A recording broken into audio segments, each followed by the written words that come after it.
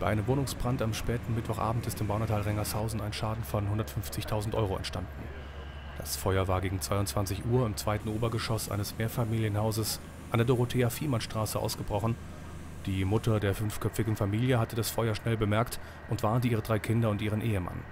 Alle verließen das Haus rechtzeitig, bis auf den Vater erlitten sie leichte Rauchgasvergiftungen. Als die Feuerwehr eintraf, flogen die Flammen bereits aus den Fenstern. Bis 1 Uhr dauerten die Löscharbeiten, so lange war die Dorothea-Viehmann-Straße voll gesperrt. Die Brandursache ist noch unklar, die Kriminalpolizei Kassel hat die Ermittlungen aufgenommen. Erste Erkenntnisse deuten auf einen technischen Defekt hin.